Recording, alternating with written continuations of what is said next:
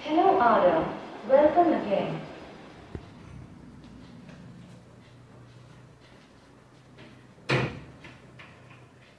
Welcome, Neha.